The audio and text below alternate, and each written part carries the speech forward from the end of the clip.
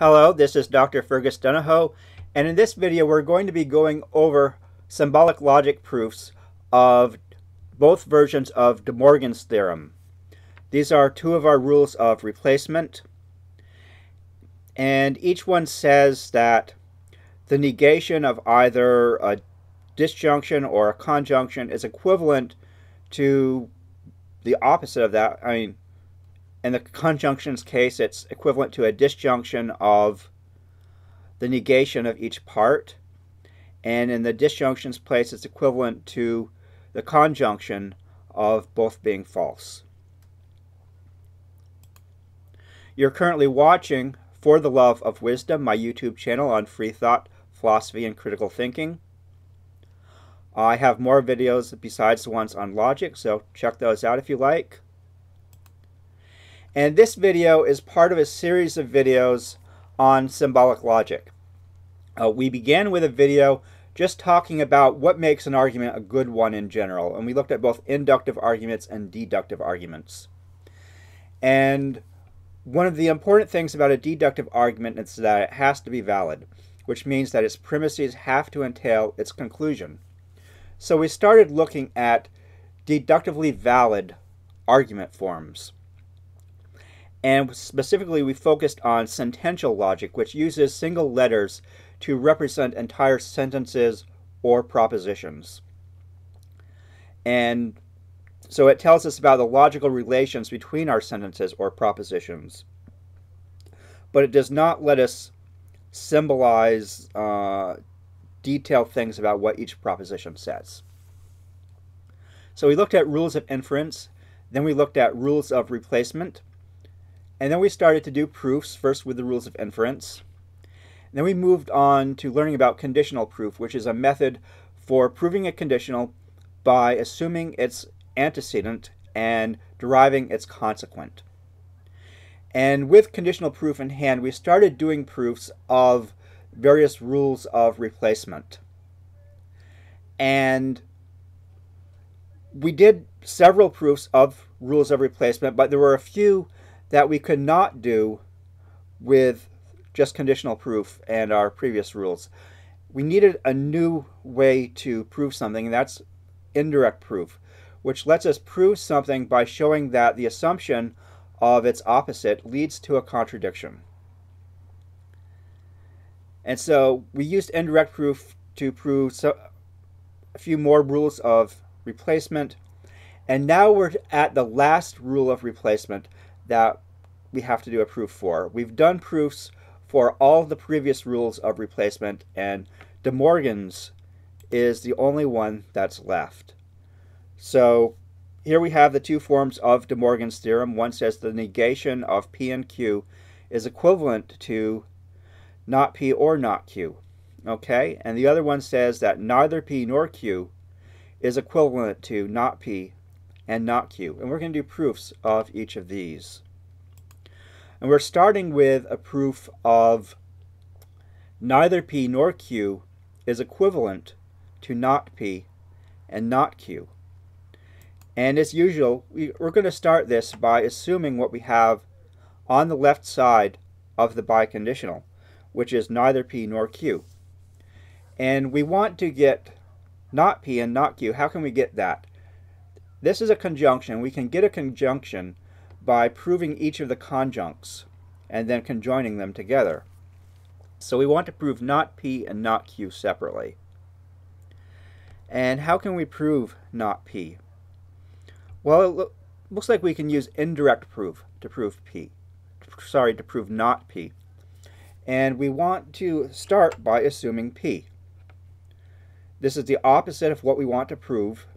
If we can get a contradiction, we'll be able to derive not P from this indirect proof.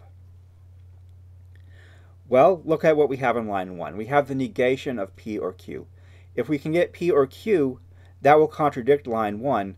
We'll have our contradiction, and we can get not P. Well, since we have P, we can easily get P or Q by adding Q to line 2, and we get P or Q by addition. So then we just conjoin lines 1 and 3. We get P or Q and neither P nor Q, which is a contradiction. That lets us finish this indirect proof and we get not P. Now we want to prove not Q. And we're going to follow the same basic method. We start by assuming Q, which is the opposite of what we want to prove. And then we add P to it to get Q or P. And we have one more step here. We commute it to get P or Q. And now we can just conjoin P or Q with neither P nor Q to get a contradiction. And then that lets us finish this indirect proof and we get not Q. And now we have both not P and not Q on separate lines. So we just conjoin those together to get not P and not Q. And that lets us finish this conditional proof and we get if neither P nor Q, then not P and not Q. Okay, and now we want to go in the other direction. So we'll start by assuming what we have on the right-hand side of the biconditional, which is not P and not Q. And we want to prove the negation of P or Q. Well, the best way to do this is with an indirect proof. We're going to assume the opposite of what we want to prove, and that is P or Q. And now we want to get a contradiction.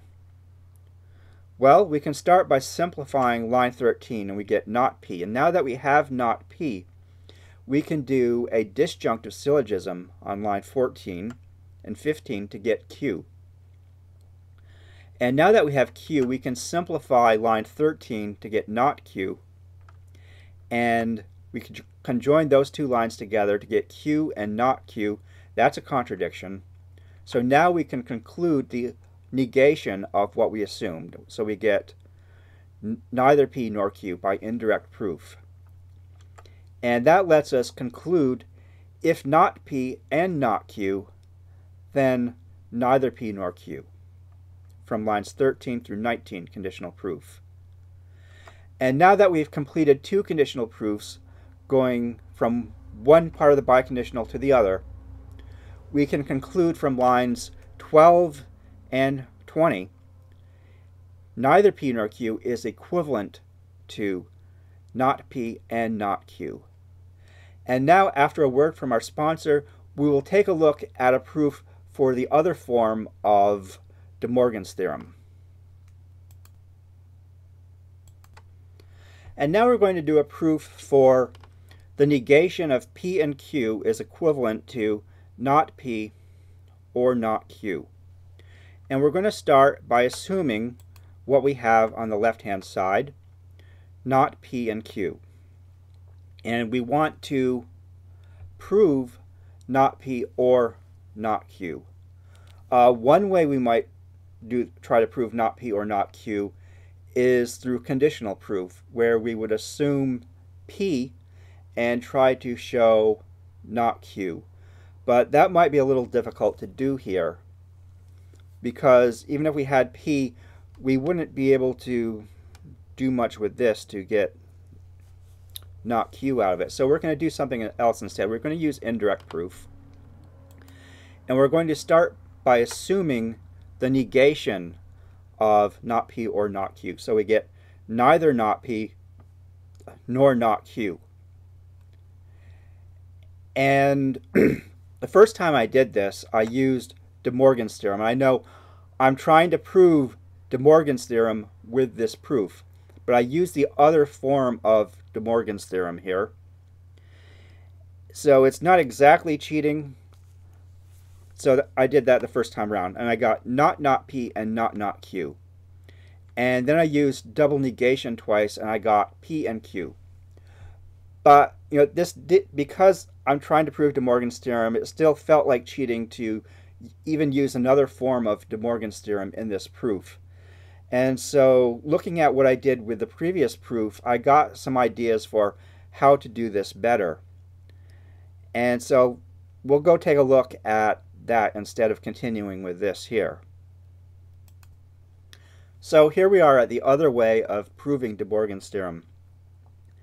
And we have the same two assumptions as before. We First we've assumed uh, the negation of P and Q, and then we've assumed neither not P nor not Q. And we want to get uh, what do we want to get? We want to get not P or not Q, and we can we're going to do that through an indirect proof. So what we want to get right now is a contradiction. Now if we look at what we have on line 1, we have the negation of P and Q. What this tells us is that if we can get P and Q on a line, we can conjoin it with line 1 for a contradiction. And that will allow us to conclude the opposite of our assumption for this indirect proof. So, how can we get P and Q? Well, we know from looking at the previous version of this proof that what we have on line 2 is actually equivalent to P and Q. But instead of using De Morgan's to get P and Q out of this, we are going to prove, try to prove P and Q separately.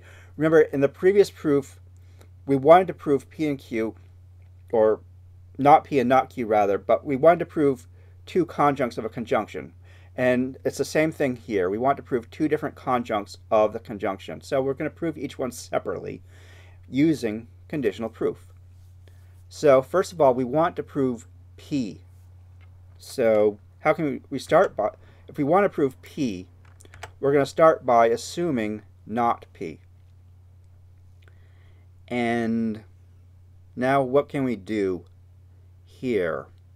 We have not P. We want to get a contradiction. Okay. Well, through addition, we get not P or not Q, and that directly contradicts what we have in line 2. So now we can conjoin line 2 with line 4, and we get not P or not Q, and neither not P nor not Q. And now that we have this contradiction, we can finish this indirect proof and conclude the opposite of what we assumed. In this case, we derive P because we had assumed not P. And now we're going to follow the same basic procedure to get Q. We start by assuming not Q. And we're just going to add not P to this so we get not Q or not P. And because they're in a different order than what we have in line 2, we use commutation to get not P or not Q. And now we get the same contradiction that we got on line 5, but this time from lines 2 and 9. And use, because we have that contradiction now, we can finish this indirect proof and we get the opposite of what we assumed. This time it's Q. And now we have P and Q on separate lines. And we use conjunction to put them together on one line. And then we use conjunction again to combine line 12 with line 1, and we get P and Q and not P and Q. That lets us complete this indirect proof, and we get the opposite of what we had assumed. On line 2, we had assumed neither not P nor not Q, so the opposite of that is not P or not Q. And that is what we were trying to derive all along, so we finish this conditional proof and we get if the negation of P and Q, then not P or not Q. And now we're going to go in the opposite direction. We, uh, we're going to start by assuming what we have on the right-hand side of the condi biconditional, which is not P or not Q. And we want to prove the negation of P and Q. Well, one of the best ways to prove the negation of something is through indirect proof. So we're going to start by assuming the opposite of this, which is P and Q. And now we want to get a contradiction here. Well, how can we get a contradiction? We have on line 16 not P or not Q, and we have P and Q here. So we could use possibly disjunctive syllogism to get one of the disjuncts here. But I'm going to do something different. Well, first of all, I'm simplifying line 17. I'd have to do that anyway. I get P. And now instead of using double negation, I'm going to use material implication on line 16 to get if P, then not Q. And I could have gotten not not p on this line, and the next line would be the same. On line 20, I get not q through modus ponens. And if on line 19 I had assumed, sorry, I derived not not p, I could have used disjunctive syllogism to get not q. And now that I have not q on line 20, I can simplify line 17 to get q. And now I can conjoin those together on line 22, which is a contradiction, q and not q. That lets me finish this indirect proof, and I get the negation of what I had assumed. So that is not P and Q. And that was what I was going after, so now I can finish this conditional proof, and I get if not P or not Q, then the negation of P and Q.